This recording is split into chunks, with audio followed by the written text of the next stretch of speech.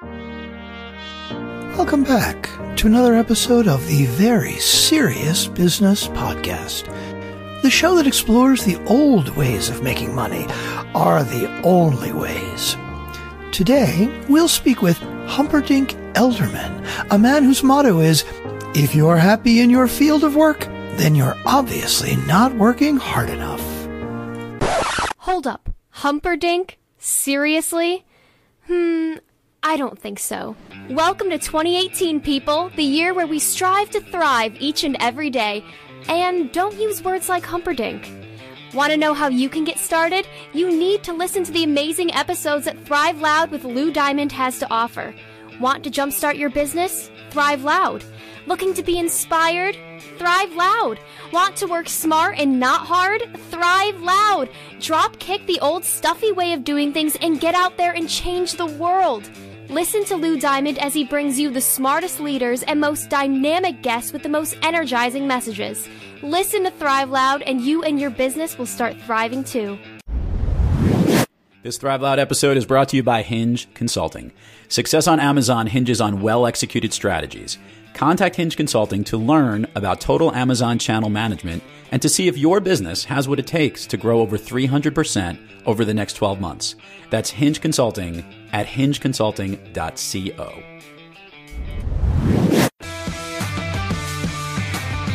Get ready to thrive loud with Lou Diamond.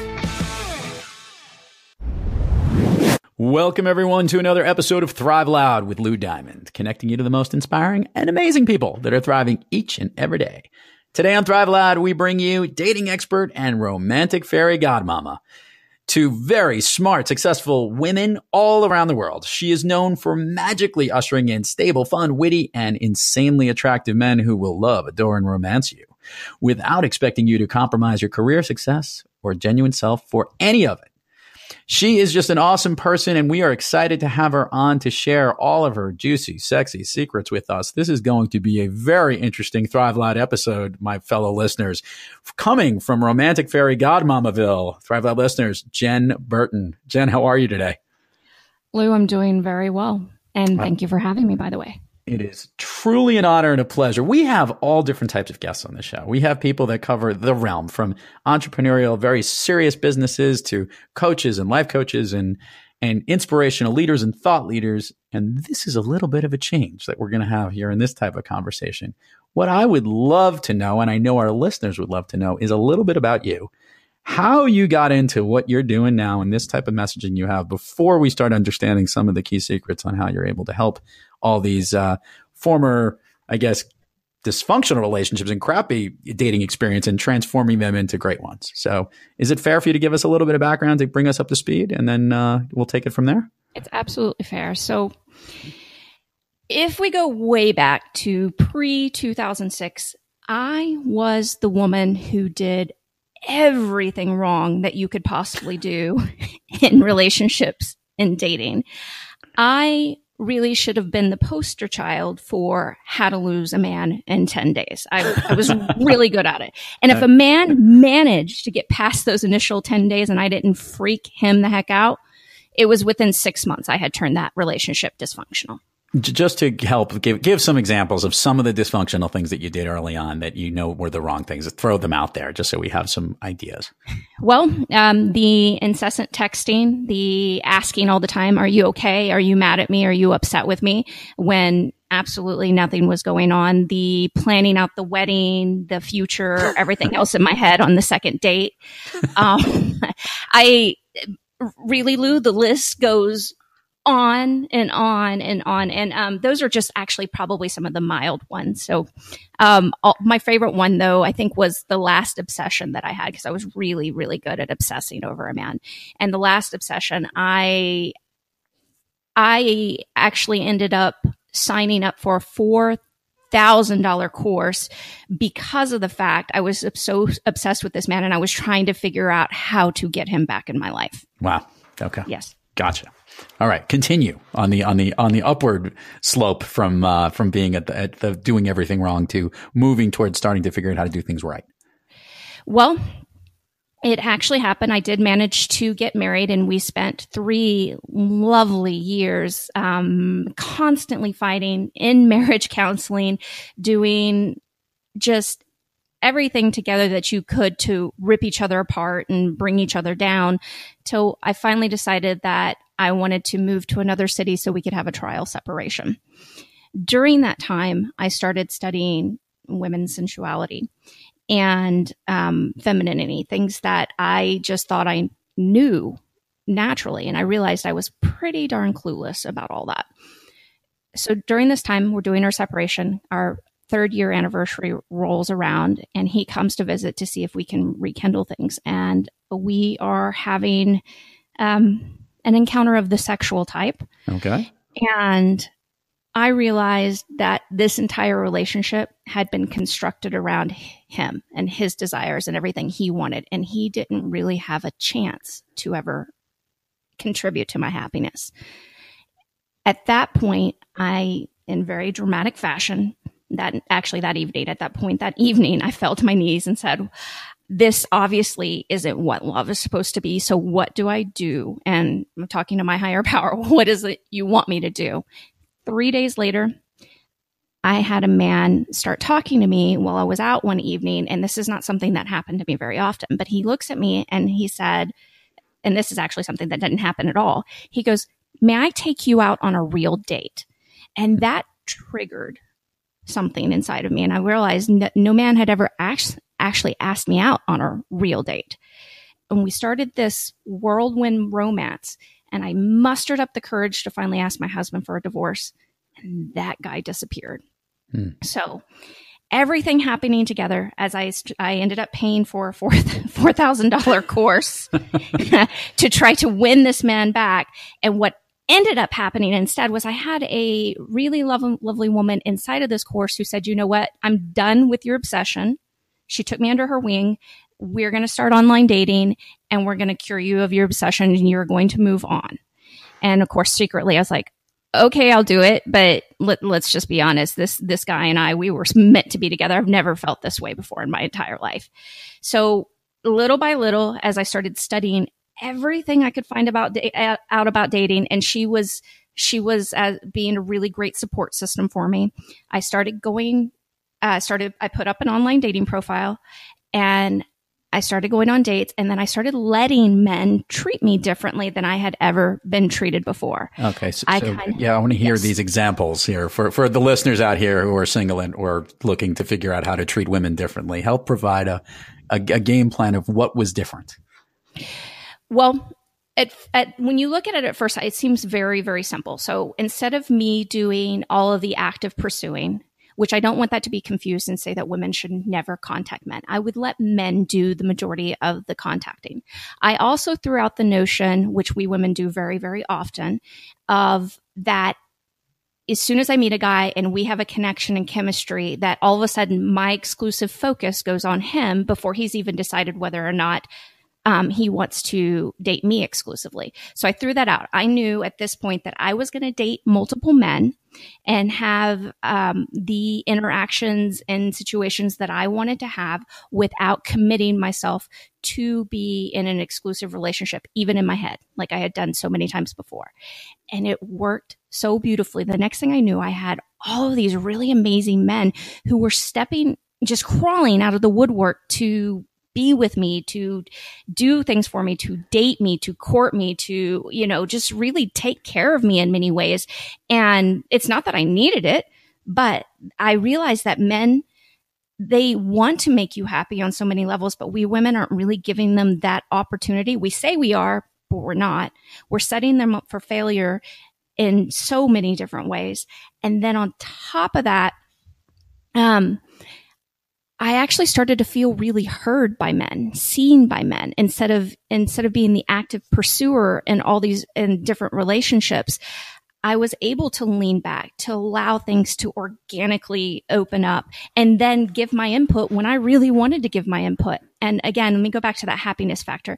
What I realized more than anything is that we women, even though we say we, we give men the opportunity to make us happy, men can't make us happy. They want to make us happy. They can't make us happy. They can contribute to our happiness, but ultimately, we have to step up as women and make ourselves happy first and then create a space for men to come in. Okay. So I'm going to jump in here because um, obviously I am. I wrote a book called Master the Art of Connecting, and many times people have utilized the way that I connect with individuals, whether, whether it's on a in a romantic situation or it's even a business relationship. There's a certain way that you need to be to be able to connect with another individual, and I have a whole connecting core, which we go through, um, which I'm not going to go through on this piece of it, but one of the components has a lot to do with being authentically who you are, and that instills a lot of confidence. And my question to you is do you believe that I, have always felt that when things start working, it almost feels like, you know, like it's the ebb and flow type thing. When things are on a roll, it feels like nothing, like you said, men were coming out of the woodwork. People were wanting to connect to you. I would argue that at that particular moment, you were flexing all of your connecting core muscles, all the things that people wanted to do to be around you. And that actually is drawing people in. So my question to you is, do you believe that it was the way that you were acting in those situations or was it the way that you were being perceived by others?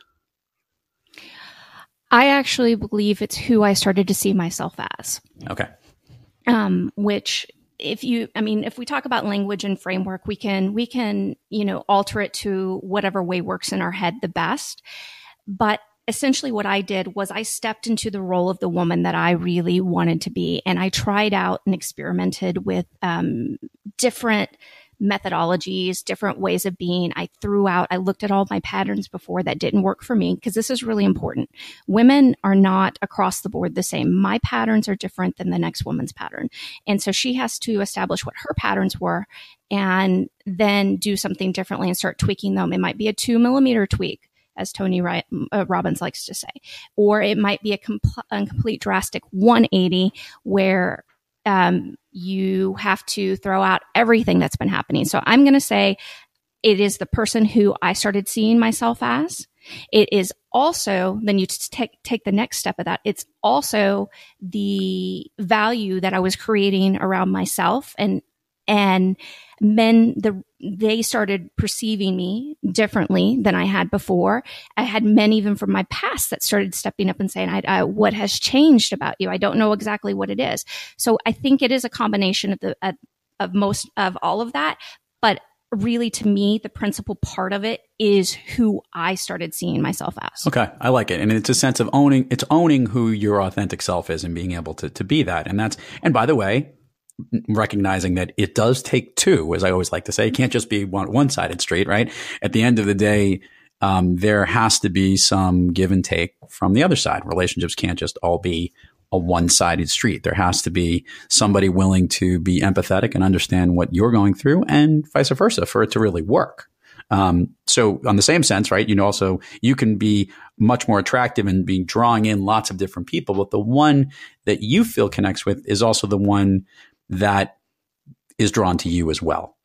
And from your experience, and this is what I'd like to know, how did you transpose this experience of yours into becoming the romantic fairy godmomma? Well, this actually, this whole experience happened upon me. So I was very, very active in my dating life. Within the group that I was talking about, that course I was taking, there was a large community of women. A lot of the women started coming to me asking me how I was doing all this. And so I started consulting without even realizing realizing I was consulting for a for a couple years. Around 2010, I was talking to a woman about all this, and she looks at me and she says, "Can I pay you to teach me this?" And I looked at her and I said, "Hmm, sure, why not? I like money. I like talking about this. Let's see if these two go together well." And then the next thing I knew, she was helping me put together a small in person class. And all I did was tell my story. And we were at a meet and greet. And the first meet and greet that I had for, for this specific class, I had 15 women at this meet and greet just by telling my story. I didn't, I didn't know how to pitch. I didn't know how to do anything. Just told my story. I had 13 of the 15 women sign up for my first class. Oh, wow.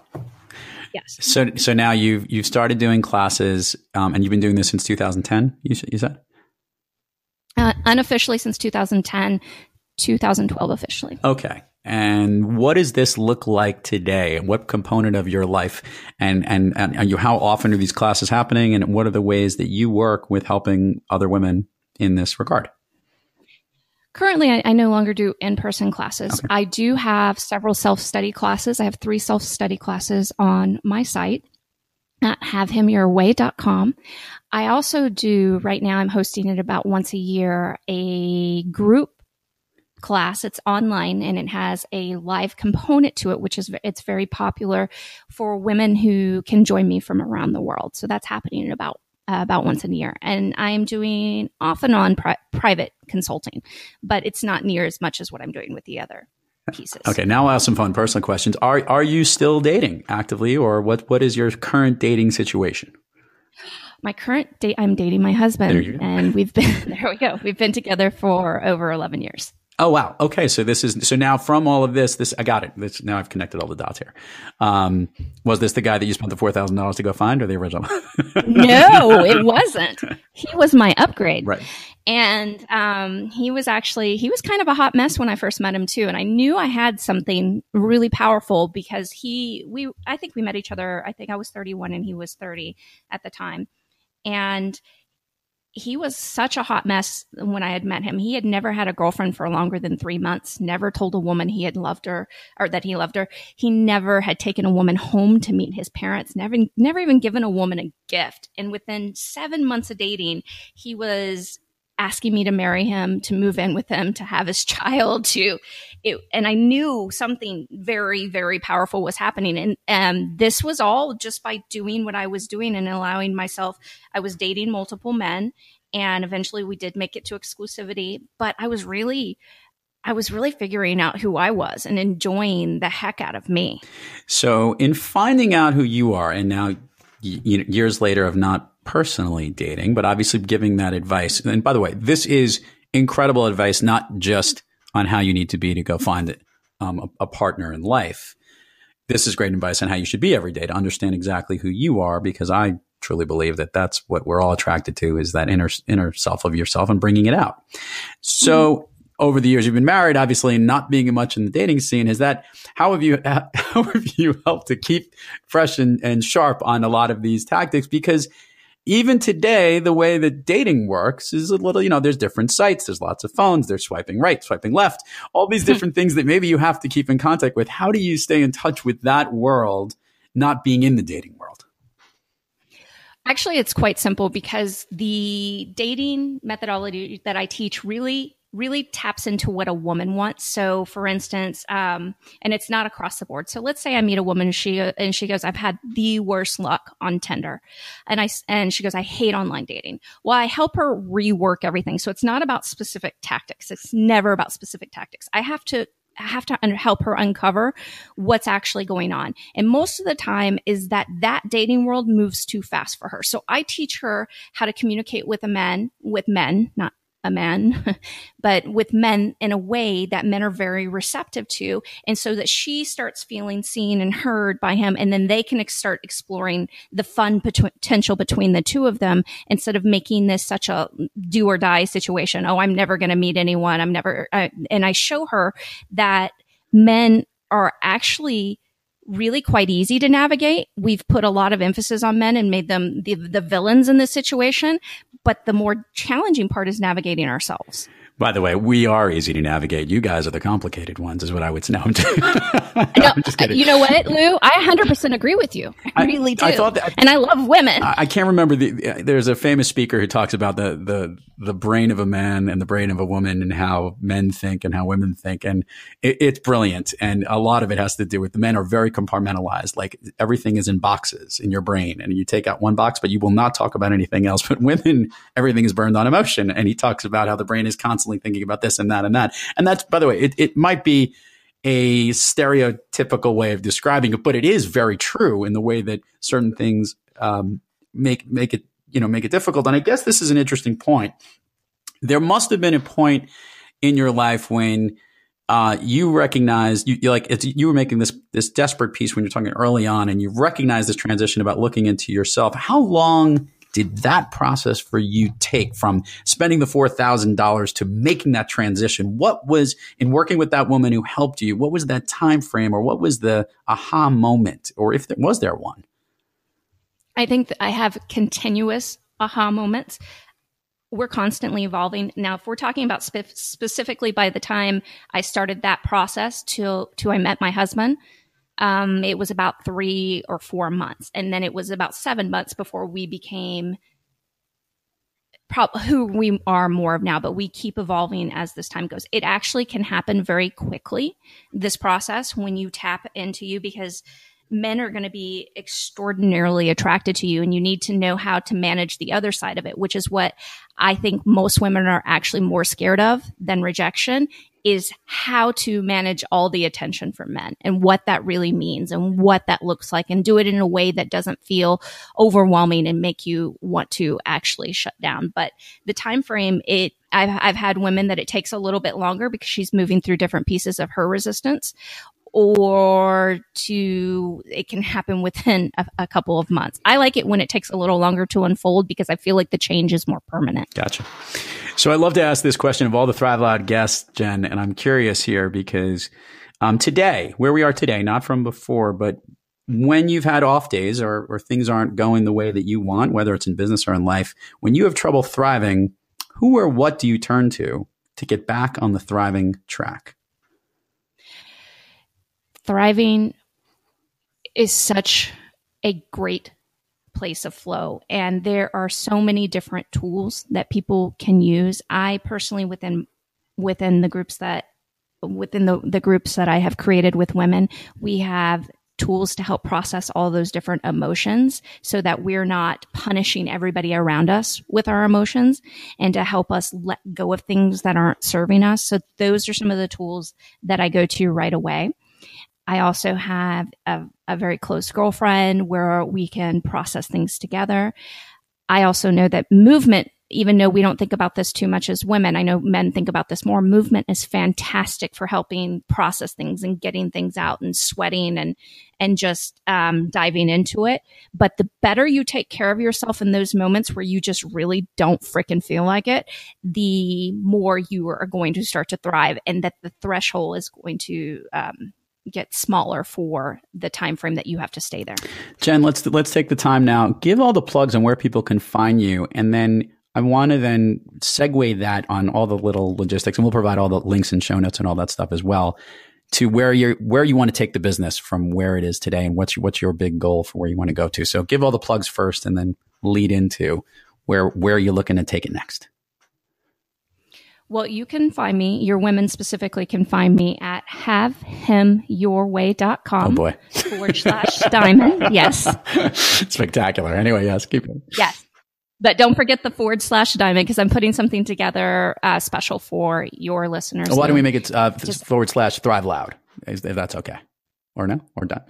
You tell me. That makes okay. it easier. Just so they'll find it. Perfect. Thrive Loud, yes. And so it's havehimyourway.com forward slash Thrive Loud.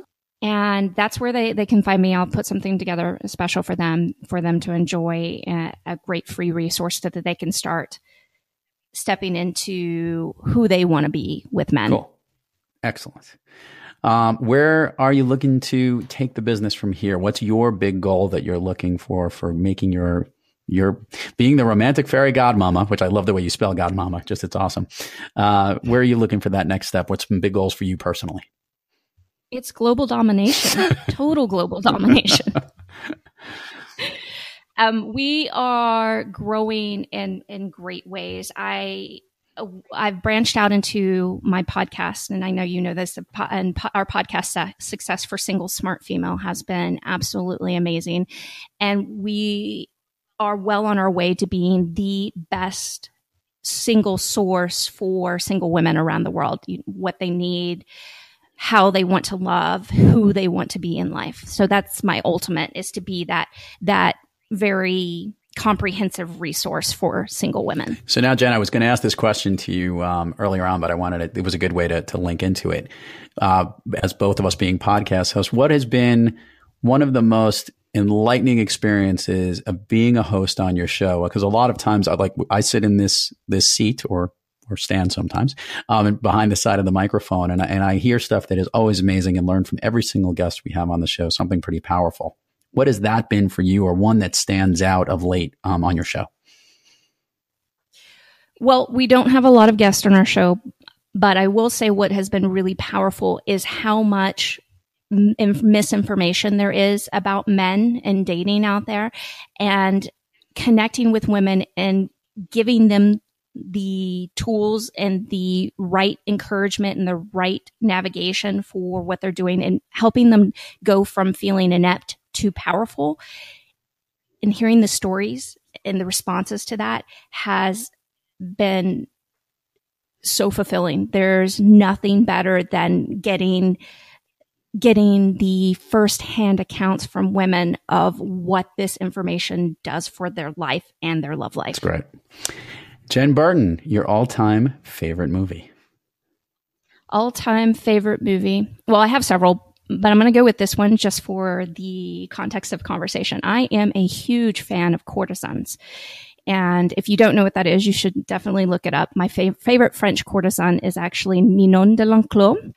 But there's a great movie out there called Dangerous Beauty, which talks about the life of a French, of another, not a French, but an Italian courtesan, Veronica, uh, Veronica Franco. And I think that you, a lot of your women would really enjoy that.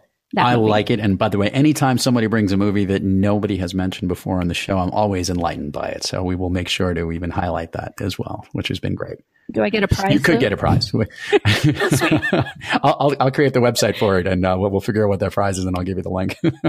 Fantastic. Jenn Burton, truly a pleasure. This was uh, great to have you here. And I guess I'll let you come off with the last comment here. Um, give one last message to, to the listeners out there, uh, words of advice or things that you want to share with our listeners. One last takeaway that they can learn from you. I want to direct this to your female listeners because this is really important. We were talking about how complicated women are, but what we didn't really get into and something that's very important to women for women to know is that as complicated as you are, you are the true powerhouse behind romance. So connecting to who you really are is going to trigger a ripple effect in your love life that you never even imagined. Jenn Burton, thank you so much for coming on the show. This has been great. Thank you. And to all the Thrive Loud listeners out there, keep thriving onward and upward. And remember, be brief, be bright, be gone. You've been listening to Thrive Loud with your host, Lou Diamond. Make sure to subscribe on iTunes, Overcast, or wherever you get your podcasts. And follow us on Twitter, Facebook, and Instagram at Thrive Loud. Or find us on the web at thriveloud.com.